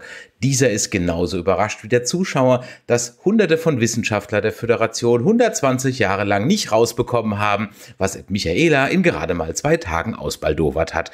Und jetzt hat der Admiral ein dickes Problem, denn SB-19 war der Codename einer Geheimantriebsmethode der Vulkanier und der Föderation. Dieser experimentelle Antrieb stellte sich jedoch als zu gefährlich heraus und so wollten die Vulkanier die Experimente abbrechen. Die Föderation allerdings bestand auf deren Fortführung, war die Lithium doch langsam wirklich Mangelware. Und es kam, wie es kommen musste, etwas ging schief, der Brand passierte und damit war die Ehe zwischen Vulkan und der Föderation endgültig zerrüttet. Da man sich aber bereits ohnehin seit einigen Jahren auseinandergelebt hatte, reichte Vulkan kurze Zeit darauf die Scheidung ein. Man war zwischenzeitlich auch gar nicht mehr so abhängig von der Föderation, hatte man sich doch mit den Romulanern einen neuen Lover gesucht. Diese Vereinigung war das Ergebnis des jahrzehntelangen Flirts, welcher einst von Botschafter Spock in oben genannten TNG-Folgen Unification 1 und 2 angestoßen wurde. Was Botschafter Spock allerdings sicher nicht gewollt hatte, war, dass mit der Ehe dann auch eine Namensänderung einherging aus Frau Vulkan wurde Frau Nivar. Das Thema ist dem Admiral sicher sichtlich unangenehm und Michael hat aber nun Beweise dafür, dass das Geheimprojekt gar nicht schuld am Burn war und möchte dies den Vulkaniern auch präsentieren. Weiterhin erhofft sie sich durch die Daten des Geheimprojekts Hinweise auf den Ursprung der Katastrophe. Normalerweise würde der Admiral jetzt nicht bei seiner Ex anrufen, aber nun hat er ja mit der Halbschwester von Spock einen wunderbaren Vorwand, mal wieder vorbeizuschauen. Denn es gibt nur einen Menschen, der mit den Vulkaniern reden kann. Ratet mal, wer das ist. Richtig, Ed Michaela. Also an der Stelle, man, man stelle sich nur mal vor, heute würde Cäsars Halbschwester auf der Erde erscheinen und äh, der von der Leyen in der EU mitteilen, dass ab sofort wieder die Grenzen des alten römischen Reiches gelten und sie darin jetzt die Kaiserin ist. Gut, also wie dem auch sei, man schickt also flugs eine Nachricht an den Vulkan, an die Vulkanier. Michael Burnham ist unterwegs. In ihrem Quartier schaut sich Michael noch einmal die alten Aufnahmen von ihrem Bruder Spock an. Sie hat ja in dieser Folge noch nicht geweint. Und unter anderem stöbert sie auch in dem privaten Archiv von Captain Jean-Luc Picard. Der alte JL war ein richtiger Filou und hat alle Gespräche mit Spock heimlich mitgeschnitten. Allerdings stellen wir uns dann die Frage, ob sein Androidenkörper im 31. Jahrhundert überhaupt noch existiert. Hm. Und dann passiert, was lange angeteasert wurde. Saru will Dilly tatsächlich zum ersten Offizier machen. Letzte Folge haben wir es noch als dümmste Idee ever in den Raum geworfen. Ähnlich wie der Zuschauer ist auch Tilly völlig von den Socken und überfordert mit dieser Situation. Das könnte unter anderem auch der an der seltsamen Begründung für die Beförderung liegen. Der Captain ist nämlich der Meinung, dass die Erfahrung einer Zeitreise Tilly zum idealen Kandidaten für den Posten des ersten Offiziers macht. Also mit der Begründung kann man auch die Klofrau zum ersten Offizier ernennen, weil die ganze Mannschaft hat eine Zeitreise gemacht. Gut, wie dem auch sei, den folgenden Punkt kürze ich an dieser Stelle etwas ab. Tilly holt sich Rat bei Stamets, welcher die Vorstellung von Tilly Befehle zu entgegenzunehmen ziemlich seltsam findet, ihr dann die Entscheidung allerdings auch abnimmt und einfach der kompletten Crew die, äh, die, die, diese Entscheidung steckt. Das ist schon eine ziemliche Tratsche, der gute Doktor. Die Kollegen stimmen dann in einer rührseligen Szene einstimmig für Tilly als neuen ersten Offizier. Und da hat sich halt der Writers Room die Story ganz schön zurechtgebogen. Da muss an der Stelle vielleicht auch noch mal kurz äh, hinweisen, dass ein Ensign zwar Fähnrich übersetzt werden kann, aber eigentlich eher ein Leutnant zur See ist. Also jetzt nicht mit unserem Fähnrich bei der Bundeswehr zu vergleichen, aber auch ein Leutnant zur See wird nicht plötzlich zum ersten Offizier einer Korvette. Also, ja, es ist nein, nein, nein, nein. Auf dem Vulkan angekommen, äh, Nivar angekommen, wird man von der Präsidentin etwas unterkühlt empfangen und als Michael ihren Wunsch vorträgt, sogar umgehend abgewiesen. Jetzt ist es aber richtig gut, dass man in Star Trek jederzeit irgendein uraltes Ritual aus dem Drehbuchhut zaubern kann, äh, dem sich dann auch prompt alle Beteiligten zähneknirschend unterwerfen. Und in diesem Fall heißt das neue Ritual Tkal and Ket, eine Art wissenschaftlicher, philosophischer Disput. Und jetzt macht also die Michaela sogar noch einen auf Martin Luther an der Stelle gleich mal ein Disclaimer. Ja, es kann sein, dass dieses blöde Ritual mal in irgendeinem Buch erwähnt wurde, aber ganz ehrlich, who cares? Der Fall erscheint aussichtslos und dazu braucht Michaela noch einen Anwalt. Moment. Aussichtslose Fälle. Romulaner. Das ist doch ein Fall für die Supernonnen. Richtig, die Bene Gesserit sind zurück und stellen den Anwalt von Michael. Sicher haben einige kurz gezuckt und auf Space Legolas getippt, aber die Drehbuchautoren haben sich den zweitdämlichsten Einfall vorbehalten, das zu tun, was alle gedacht haben und doch keiner gedacht hat, nämlich deine Mutter bzw. Burnhams Mutter. Wir erinnern uns, Mama Burnham fiel in einer Folge der zweiten Staffel durch das Zeitwurmloch und krachte auf einen Planeten. Wie sie das ohne Red Angel Suit überlebt hat, bleibt ein Geheimnis der Autoren. Der Planet war allerdings auch nicht Terralysium, dafür aber die Heimat der nie lügenden Kampfnonnen, welche die gute Gabriel aufpäppelten und die sich dann zum Dank ihnen auch umgehend anschloss. Beim obligatorischen Talk im Flur erkennt Mama Burnham umgehend die innere Zerrissenheit von Michael. Muss sie auch, wir haben ja noch 30 Minuten Zeit. Mach mal hinne, Leute. Der Disput beginnt und vor einem dreiköpfigen Rat aus einem Romulaner, einem Vulkanier und einer, wie nennt man das, Romulkanierin, äh, muss Michael um die Herausgabe der Daten von SB19 bitten. Ja, nein, sie muss eigentlich dafür sogar philosophisch argumentieren.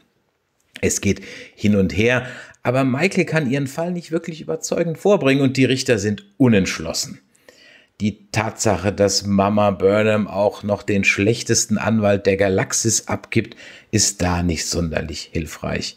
Die vermeintliche Unfähigkeit als Winkeladvokat bringt Michael so sehr aus der Fassung, dass sie sich völlig vor dem Triumvirat offenbart und in einem Seelenstriptease mit Eichenlaub und Schwertern ihr Innerstes nach außen kehrt. Reicht aber auch nicht, das Triumvirat ist immer noch gespalten und so zieht Michael beleidigt ihre kleine Anfrage zurück.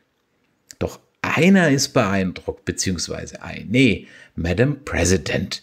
Nicht zuletzt vom Umstand, dass Spocks Halbschwester wieder da ist, überlässt sie ihr gegen den Willen des Rates die Daten zu SB19.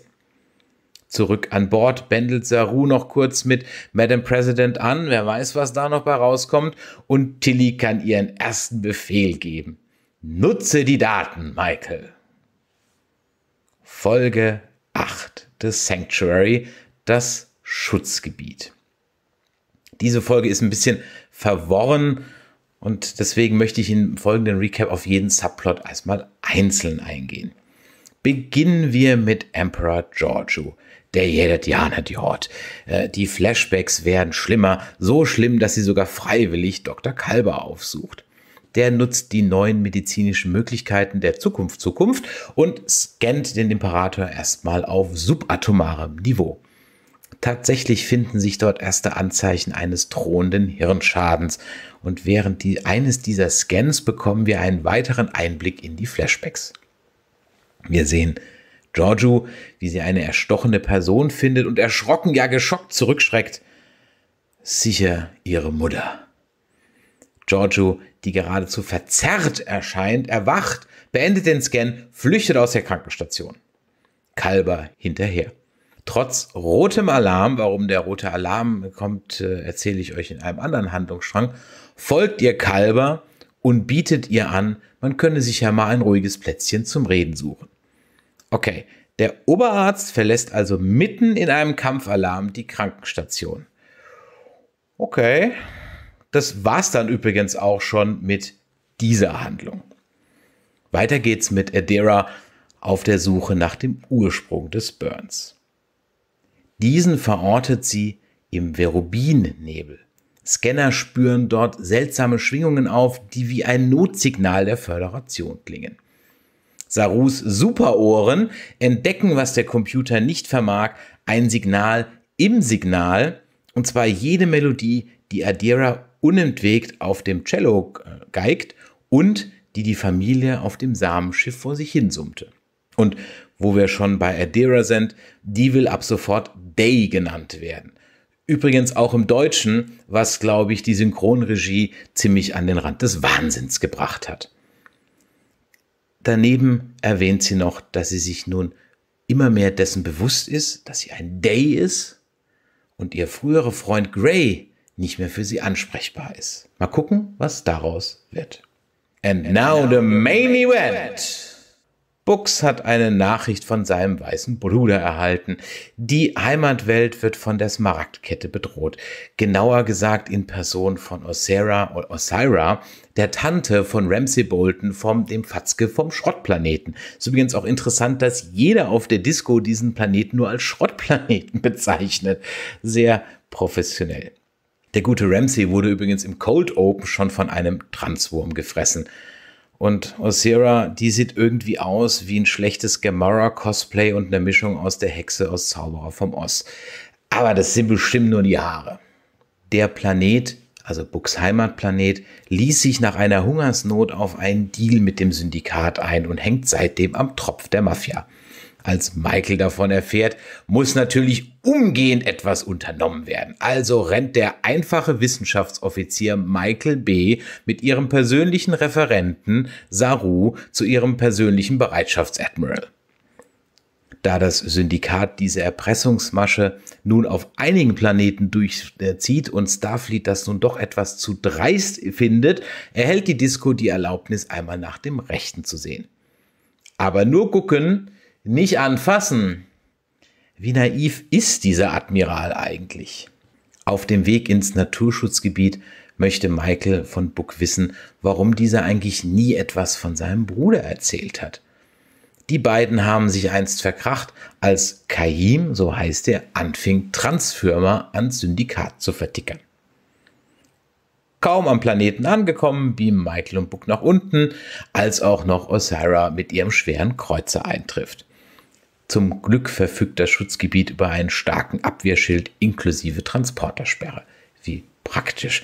Auf der Oberfläche erkennt Buck sofort das Problem. Es gibt kein neues Insektenschutzmittel mehr vom Syndikat und gefräßige Viecher haben alles kahl gefuttert und zerstören damit die Lebensgrundlage der Bewohner.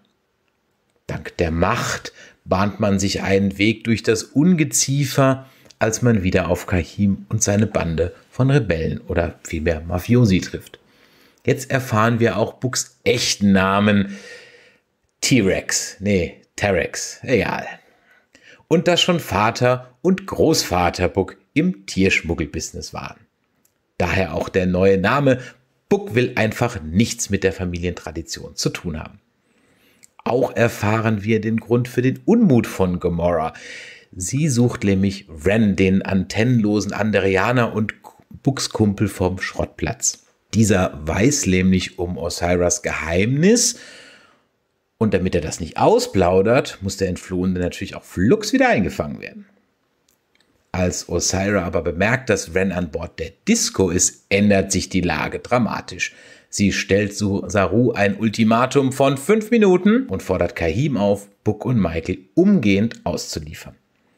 Als dieser sich weigert, beginnt Osira damit, den Planeten zu, zu beschießen.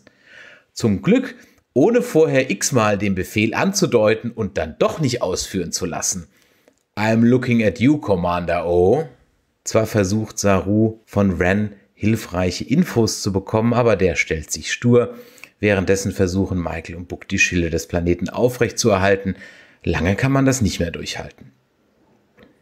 Dann gibt Ren doch einen Hinweis. Er wisse, wie die Schilde von Osiris Kreuzer deaktiviert werden könnten und würde diese Infos im Tausch gegen Books Leben teilen. Auf dem Planeten geraten im allgemeinen Chaos nun auch die Brüder aneinander und es kommt zum obligatorischen Familienfaustkampf. Erst als der Schwanzvergleich vorbei ist, kommt Michael auf die Idee, man könne ja mit der Macht und etwas Technobubble der Discovery das Ungeziefer dahin zurückschicken, wo es herkam.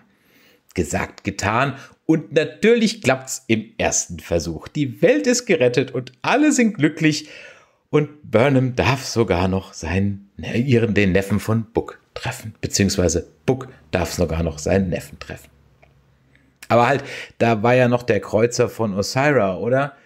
Also die Disco als Föderationsschiff darf nicht eingreifen, aber Buck hat ja noch diese kleine Schaluppe und das ist ja kein Schiff der Föderation.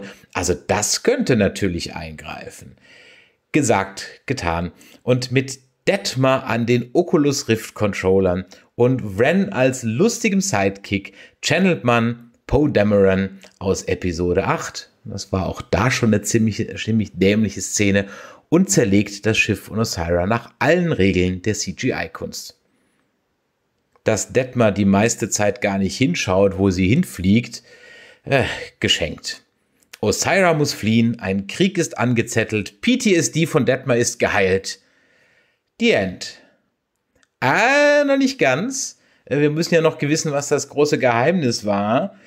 Äh, dem Syndikat geht auch das Dilithium aus. Terra Firma Teil 1 und 2, der Einfachheit halber, packe ich das heute mal zusammen. Die Philippa ist krank und weil Mass Effect Doktor auch nicht mehr weiter weiß, sucht er Hilfe bei David. Ja, ich trage eine Brille Cronenberg. Dieser entpuppt sich als ausgewiesener Experte zum Thema Zeitreisen und hat postwendend auch die Lösung parat. Da der Mensch Zeitreisen nur bedingt verträgt und Imperator auch noch zusätzlich in einer anderen Dimension abhängt, ist Heilung in dieser Zeit nicht zu finden. Der Imperator muss also zurück in seine Zeit und am besten noch in sein Spiegeluniversum. Doch wie soll man das anstellen, war das Spiegeluniversum doch lange nicht mehr gesehen. Außerdem verbietet die interdimensionale Verschiebungsbeschränkung des temporalen Zeit- und Dimensionsabkommens jegliche Reisen.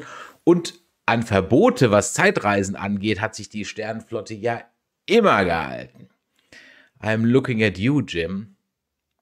Mo Moment, da fällt mir ein, wenn Zeitreisen krank machen, äh, wie kann es das sein, dass Mutter Beimer äh, Burnham laut eigener Aussage mehr als 800 Mal durch die Zeit gereist ist und immer noch so fit ist? Ich meine, die hat sogar einen Einschlag auf einem Planeten ohne Red Angel Suit überlebt. Ich meine, vielleicht sollte man sie mal fragen, warum sie noch so fit ist und ob sie vielleicht da was zu sagen hat, aber egal. Zum Glück hat man die Sphärendaten, denn die wissen Rat. Auf einem Planeten namens Dennis 5 könnte die Lösung verborgen sein. Doch die Smaragdkette, ich komme ich komm nicht über diesen Namen hinweg, macht Ärger und die Disco ist eigentlich auf gelbem Alarm. Für 30 Sekunden diskutiert man dann die Frage, ob das Wohl vieler doch nicht vielleicht über dem Wohl eines Einzelnen steht, verwirft den Gedanken aber ganz fix wieder und holt sich von Admiral Vance das Gut zur Mission. Aber nur, wenn Ed Michaela versichert, nicht zu weinen, äh, zu zögern, wenn Giorgio dann wirklich gehen muss. Der Imperator hat überhaupt gar keinen Bock auf eine Impfung und geht nur widerwillig auf diese möglicherweise letzte Mission. Zum Abschied sagen Saru und Tilly leise Servus. Im Maschinenraum findet Adera mit Stamets weitere Hinweise über den Notruf aus dem Nebel. Dieser 100 Jahre alte verschlüsselte Notruf, also warum verschlüsselt eigentlich jemand seinen Notruf? Okay, stammt von einer Kelpianerin, ähm, deren Schiff beim Versuch, den Nebel zu erkunden, in Not geraten ist. Die Mission des Schiffs war die Erforschung eines Dilithiumfeldes. Und jetzt wird's natürlich für Saru persönlich. Auf Dennis 5 angekommen, trifft man nach einem kurzen Fußmarsch.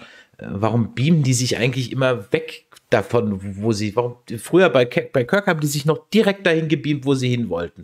Auch bei TNG noch. Wann fing das denn an, dass man sich kilometerweit irgendwo nebendran gebeamt hat? Naja, also da trifft man dann schließlich auf Karl. Eine Mischung aus Dr. Who, Q und dem Märzhasen aus Alice im Wunderland. Karl deutet an, dass die Heilung hinter der Tür ist. Tür? Was für eine Tür? Ach so, die, die da einfach in der Landschaft rumsteht. Also, wenn ihr ein bisschen Bock auf Inner Light meets Tapestry habt, aber das Ganze nur in böse, dann geht's los. Also vorher bekommt aber Imperator George noch ein Armband von Michael geschenkt, welches ihr anzeigen soll, wie lange sie noch zu leben hat. Klingt ziemlich cool, könnte ein super Plot-Device sein, kommt aber in der Rest der Folge und auch in der anderen überhaupt nicht hervor. So. Egal. Imp ist also zurück im Spiegeluniversum an Bord der ISS Disco, kurz vor der Einweihung ihres neuen Flaggschiffs und damit auch kurz vor dem geplanten Coup durch Lorca und Burnham. Ja, und dann pass passiert, was halt im Spiegeluniversum immer passiert. Sie futtern Kelpianer, intrigieren gegeneinander und bringen sich am Ende alle um. Dumm nur, dass die neue Mischa, dass äh, durch die neue Michaela, die geläuterte Imperatorin irgendwie nicht mehr so ganz ins Spiegeluniversum passen will. Und das bringt den ganzen Mummenschanz dann doch gehörig durcheinander. Naja, also irgendwie, ich kürze das jetzt echt mal ab. Ähm, die äh, Imperatorin sucht noch das Gute in ihrer Tochter Michael, kauft ihr sogar ein paar Glühbürbchen, bricht ihren Wellen und siehe da, es klappt. Michael begeht im Auftrag vom Imperator ein paar Auftragsmorde. Imperator fühlt dann noch das Bienchen- und Blümchen-Gespräch mit äh, Spiegeluniversum Saru und alles könnte gut werden, aber nein. Michael ist natürlich nicht geläutert und man gibt sich am Ende kräftig auf die Mütze. Giorgio tötet mal wieder. Michael, böse Zungen behaupten, an dieser Stelle würden wiederholt Zuschauer in Freudenschreier ausbrechen. Und auch der Imperator scheint das Zeitliche zu segnen, schließt die Augen und erwacht wieder auf Dennis 5. Und ganz wie in Inner Light sind auch hier nur ein paar Minuten vergangen. Und wir erfahren, wer Karl wirklich ist. Es ist der Hüter der Ewigkeit. Cut! B-Story äh, mit Hilfe von Book, einem Handbook und etwas Smaragdketten-Technologie verschafft man sich Zutritt zu den Systemen des besagten Kelpianer-Schiffs. Pluspunkte für Book, der will ja schließlich jetzt zur Crew gehören. Also vor zehn Folgen hat er sich noch über Starfleet lustig gemacht und dachte, das Ganze gibt's gar nicht. Aber hey, wenn man auf der Abschlussliste der Smaragdkette steht, dann ist Starfleet auf einmal doch ganz schön sexy. Und warum eigentlich der ganze Aufwand? Man könnte doch da hinspringen, aber. Egal. Naja. Ach, und im Maschinenraum darf man nicht essen. Cut.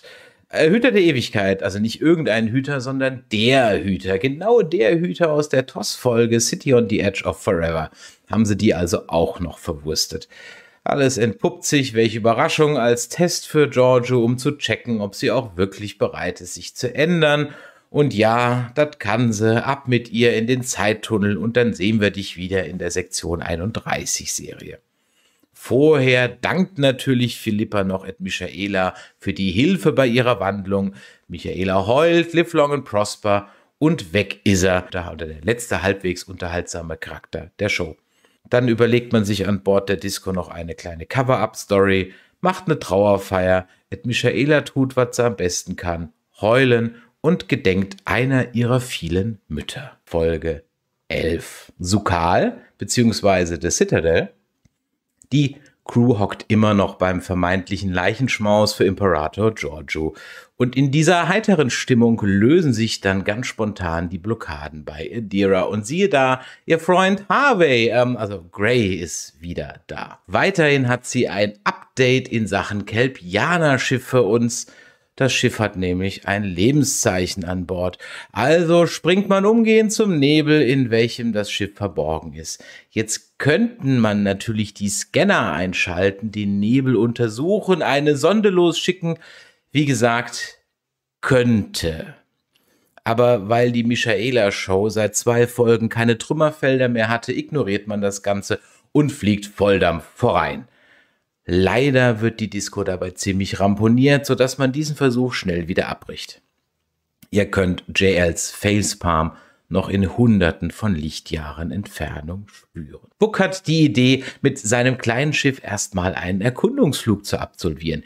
Dieser verläuft abgesehen von erheblichen Strahlungsschäden am Buch und Schiff erfolgreich und man entdeckt das Wrack der Kiew, welcher aus einem rein aus Dilithium bestehenden Planeten abgestürzt ist. Sozusagen El Dilithium in Space. Da Kelpianer involviert sind, begeht Saru den zweiten Fehler dieser Folge. Er überlässt Tilly das Kommando über die Disco und das Außenteam führt er selbst an. Nicht nur Badmiral Vance ist sich sicher, dass das nicht gut ausgehen wird. Sozusagen ein persönlicher Kobayashi Maru-Test in Echtzeit und real für Tilly. Doch der Badmiral hat noch ein weiteres Problem. Um die Aufmerksamkeit der Disco zu bekommen, rasselt die Smaragdkette rund um Kaminar kräftig mit den Säbeln. Tilly vermutet, dass Osira hinter dem Sporenantrieb her sein könnte. Damit die Disco aber ungestört ihrer Arbeit nachgehen kann, verspricht der Admiral mit der Sternenflotte mal nach dem Rechten zu sehen. Man trifft also Vorbereitungen, das Wrack auf El Dilithium zu erkunden. Paul ist nicht gerade darüber erfreut, dass sein geliebter Dr. Kalber Teil des Außenteams sein möchte. Und eine hypernervöse Tilly, wer möchte es auch verdenken, holt sich noch einmal Mut bei Tante Burnham. Wir hätten ja Jim Beam als Ratgeber irgendwie lustiger gefunden. Aber gut. Also springt man zu den ermittelten Koordinaten des Wracks, liefert das Außenteam bestehend aus Saru, Michael und Dr. Kalber ab und Tilly hat die Brücke nun für sich ganz allein. In vier Stunden muss man wieder zurück sein, denn sonst drohen schwere Strahlenschäden. Tilly setzt sich auf den Captains schwer, gibt schwarzen Alarm und greift voll Wonne erstmal in den ollen Kaugummi, den die Michaela vor ein paar Jahren da unter die Lehne geklebt hat. Im Wrack angekommen erfüllt sich endlich Sarus Lebenstraum. Er hat Fersen. Wie? Was? Fersen? Ja, Saru ist jetzt ein Mensch, Ed Michaela ist Rotkäppchen und Dr. Kalber ist ein Bajoraner. Und warum liegt da überhaupt Stroh? Und wer ist eigentlich dieser Lan? Und warum macht er so viele Partys? Fragen über Fragen. Aber ihr wisst ja, davon werden nur die Hälfte beantwortet. Michael entdeckt sofort, dass dieser Ort eine Mischung aus MC Eschners Kunst und Azkaban, also eine Holosuite sein muss. Aber zu welchem Zweck? Die Antwort lässt nicht lange auf sich warten. Es ist ein geistig verkümmerter Namensgeber der Folge, ein Kelpianer namens Sukal. Der erste Kontakt schlägt leider fehl. Sukal flieht und außerdem scheint er irgendwie noch was anderes geweckt zu haben. Michael folgert, dass es sich bei Sukal um ein Individuum handeln muss, das nie etwas anderes als dieses kaputte Holodeck kennengelernt hat. Der nächste Kontakt muss also vorsichtiger vonstatten gehen um herauszufinden, wie und was man hier überhaupt tun soll, teilt man sich auf, ist ja natürlich immer eine gute Idee. Auf der Disco arbeitet man mit Hochdruck an der Reparatur der Schilde. Die sind nämlich seit Sarus schnellem Ritt durch den Nebel kaputt. Da passt es jetzt gerade überhaupt nicht, dass ein vermeintliches Föderationsschiff auf Abfangkurs ist. Kalber und Saru entdecken dabei auf dem Planeten beziehungsweise auf dem Holodeck, auf dem Wrack, auf dem Planeten immer mehr kaputte Holoprogramme, so zum Beispiel eine Aufzeichnung vom Beitritt Kaminars zur Föderation. Derweil findet Michael das Rauchmonster aus Lost. Auch hier will der Erstkontakt irgendwie nicht so recht klappen und Michael muss fliehen und stürzt einen Abgrund hinauf. Währenddessen entpuppt sich das Schiff im Anflug als Osiris Flaggschiff. Doch anstatt die Flucht zu ergreifen, tarnt Tilly die Disco, äh, What? Die Disco hat eine Tarnvorrichtung. Seit wann hat die Disco eine Tarnvorrichtung? Egal, Osira tarnt sich auch und ruft an. Jetzt hätte man natürlich eine schöne Hommage an Balance of Terror oder so machen können. Aber nee, äh, erstmal wird die arme Tilly übelst beschimpft. Doch ein beherzter Griff in Michaelas Kaugummi hilft Tilly schlagfertig Antworten zu finden. Und definitiv 1 zu 0 für Tilly. Im Holodeck fällt Michael direkt Sukal in die Arme. Und jetzt gibt's für Disco-Verhältnisse sogar was richtig Cleveres. Also genießt diesen kurzen Moment. Michael gaukelt Sukal nämlich vor, sie sei ein neues Programm, welches soziale Interaktionen beibringen soll. Und diese Taktik scheint in der Tat zu wirken. Allerdings gibt es ja noch den Countdown der Woche, also muss Michael sich sputen und so versucht sie das Gespräch dann zu beschleunigen und fragt ganz plump nach dem Ausgang. So, so Karl erkennt, da ist was faul und ergreift wieder die Flucht. Kalber und Saru machen inzwischen ebenfalls Fortschritte. Sie finden heraus, dass Sukals Mutter, die Kelpianerin aus der letzten Folge, also aus Folge 10, das Programm zum Schutze ihres Säuglings erschaffen hat. Dummerweise inklusive aller kelpianischen Mythen und halt auch einem Rauchmonster. Und dieses Rauchmonster kann man nur bezwingen, wenn man entweder alle Lost-Folgen dreimal rückwärts geguckt hat oder um wahrlich frei zu sein, beziehungsweise also das Programm richtig und endgültig zu beenden, muss man sich diesem Rauchmonster stellen. Also machen sich Kalber und Saru auf nach Azkaban, wo Michael schon auf die beiden wartet. Und jetzt, liebe Freunde, kommen wir zur Auflösung dessen, worauf wir alle seit zehn Folgen gewartet haben.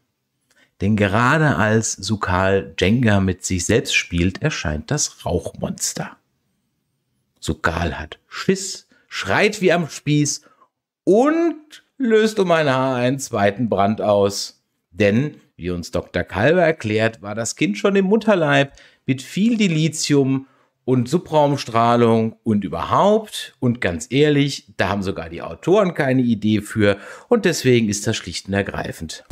Egal. Yep, richtig. Der spitze Schrei eines verängstigenden Kindes hat die Milchstraße ins Mittelalter zurückgebombt und Milliarden von Lebewesen vernichtet. Wow. Also das ist jetzt die Auflösung für das Ganze.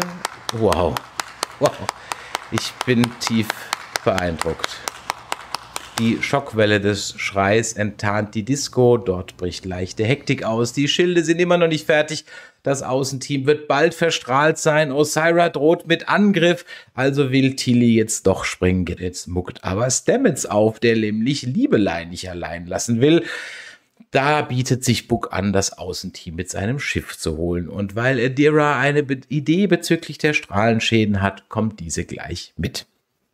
Gerade als man springen will, ruft Davy Jones aka Osira wieder an, lässt den Kraken frei und entert das Schiff fehlen eigentlich nur noch ein paar Piratenflüche und etwas Harr, Harr, Harr. Puck heizt durch den Nebel und weist das Außenteam an, ihn bei den Rendezvous-Koordinaten zu treffen. Äh, wie groß ist dieses Holodeck, dass man Rendezvous-Koordinaten... Ah, Egal. Zurück auf Buckschiff beamt sich Adira mit einem Heilmittel auf dem Planeten, während Michael im Gegenzug mit schweren Strahlenverbrennungen an Bord kommt. In dieser Crew macht irgendwie jeder, was er will. Okay. Book und Michael fliegen zurück zur Disco, doch es ist zu spät. Osira hat das Schiff in einem Handstreich geentert und springt davon. Folge 12. There is a tide oder ehemals The Good of the People. Der Rückblick nimmt's vorweg. Äh, Sarah ist zurück. Überraschung. Also wer schneidet denn da diese Rückblicke? Ja? Gut. Die Viridian und die Disco spielen das nach, was Boba Fett und Bo-Katan genau eine Woche vorher in Mandalorian auch getan haben. Sie inszenieren nämlich eine Verfolgungsjagd nur so zum Spaß, um Zugang zu einem verschlossenen Bereich zu erhalten. Und genauso wie letzte Woche schon bei Moff Gideon funktioniert auch dieser Trick bei Batman Vance, wenn auch mit einigem Zögern. Kurz bevor die gekaperte Disco die Schilde zum Sternenflottenhauptquartier passiert, geben die Sphärendaten ein Lebenszeichen von sich. Die sind auch noch da. Dass Osira aber damit nichts anzufangen weiß, ist natürlich Glück, also schenkt sie dem Ganzen keine größere Beachtung. Derweil kommen die dämlichsten Handlanger unter dem Kommando von unserem alten Bekannten Zera zum Einsatz. Und ich sagte noch, der kommt zwei Folgen vor Schluss aus dem Nichts wieder. Man kommt auf die grandiose Idee, die Brückencrew einfach hinter einem Stapel Stühle in der Kantine gefangen zu halten weil die Brick ganz sicher schon mit dem unwichtigen Personal aufgefüllt war. Durch das Trümmerfeld der Woche rauschen Michael und Buck heran. So viel schneller scheint ein Sporenantrieb dann irgendwie auch nicht zu sein und krachen mittels des Plan B Solo-Manöverns ins Hangardeck der Disco. Im Maschinenraum brütet der beste Wissenschaftler der Kette, ein Mann namens Aurelio, intensiv über die Funktionsweise des Sporenantriebs nach. Außer der Liebe zur Oper hat er mit dem guten Stamets allerdings wenig gemein. Der steht allerdings unter der Kontrolle eines Gedankenkontrollgeräts. Und auch Paul hat wenig Lust an der Lösung dieses Rätsels mitzuhelfen.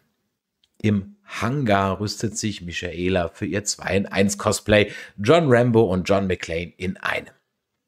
Und wie immer in New Track hat das Drehbuch genau das Gerät parat, welches gerade vonnöten ist. Heute ein Lebenszeichen-Unterdrückungsgerät. Dummerweise allerdings nur eins. Man gesteht sich noch schnell gegenseitig die Liebe, wohl nicht zum ersten Mal, dazu aber später mehr, und Michael macht sich auf den Weg, Weihnachten zu retten. Michael McLean braucht aber keinen Hans, um sich das Leben schwer zu machen. Das kann sie auch schon gut selber. Denn statt die Wachen einfach mit einem Vulkaniergriff oder einem Betäubungsschuss auszuschalten, fällt sie lieber von hinten mit lautem Geschrei ein an. Und gleich bei der ersten Rempelei bringt sie sich eine tiefe Schnittwunde bei. Und jetzt alle Ersthelfer bitte weghören. Zieht sie sich das Messer dann auch gleich wieder aus dem Oberschenkel. Äh, was lernen die bitte in der Akademie? Das lernst du in, im Erste-Hilfe-Kurs in der Fahrschule. Egal. Immerhin, jetzt hat sie ein Funkgerät. Ho, ho, ho. Mit selbigen ruft sie auch gleich mal bei Mutter Beimer um Hilfe. Moment, die war doch ganz woanders. Und haben wir nicht vorher in x Folgen gelernt, dass Subrom-Kommunikation überhaupt nicht möglich ist? Egal. Inzwischen hat Osira sich der Sternflotte zu erkennen gegeben und bittet um eine Unterredung mit Admiral Vance. Ganz nach Trumps Buch The Art of the Deal hat Osira einen Vorschlag, warum nicht eine Allianz zwischen Sternflotte und Smaragdkette. Die Föderation bringt das Image mit, die Schmaragdkette die Ressourcen. Und sie hätte da auch schon mal was vorbereitet. Ernsthaft? Das ist der Plan? eine Firmenübernahme, darum ging es die ganze Zeit.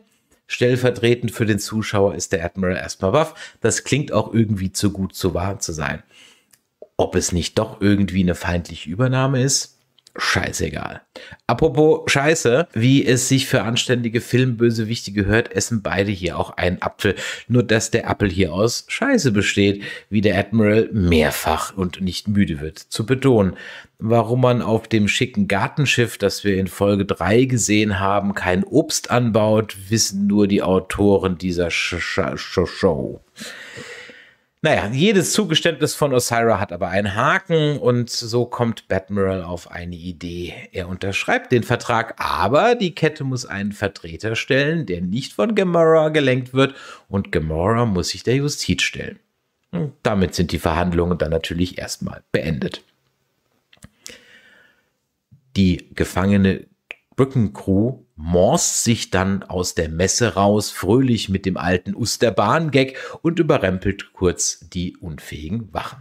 Buck und Rin verschanzen sich, bereiten sich auf den Kampf vor und landen, Schnitt, ähm, völlig äh, zerdeppert auf der Brücke, wo eine schlecht gelaunte Osira halt eben mal Rin vaporisiert. Woraufhin Buck brav die Story vom Dilithium-Planeten ausplaudert. Hätten sie gar kein Wahrheitsserum gebraucht. Was macht eigentlich Michael McLean? Die turnt natürlich in Luftschächten rum, funkt mit Hans Gruber, aka Sarah, und schaltet einen Riesen nach dem anderen aus. Dass dabei natürlich auch ihre Schuhe flöten gehen, versteht sich von selbst. Im Maschinenraum quatscht Paul dem armen Aurelio noch ein Ohr ab, allerdings nicht ganz unerfolgreich. Ganze fünf Minuten reichen aus, um eine lebenslange Freundschaft mit Osira in Frage zu stellen. Und passender könnte natürlich auch McLean nicht auftauchen. Diesmal hat sie allerdings einen Betäubungsfäser im Anschlag. Paul möchte jetzt aber ganz schnell zu Liebelein und sein Kind, ja, er betrachtet jetzt Adira als sein Kind, haben wir vorher auch nicht gewusst. Jetzt wissen wir es, weil er hat es einem Wildfremden erzählt. Okay, zurück in den Nebel springen. Doch ausgerechnet Michael, die ihre persönlichen Befindlichkeiten immer über die aller anderen stellt, hält diesmal den guten Paul via vulkanischen Nerve Pinch auf und verfrachtet ihn in einer Kraftfeldkapsel ins All.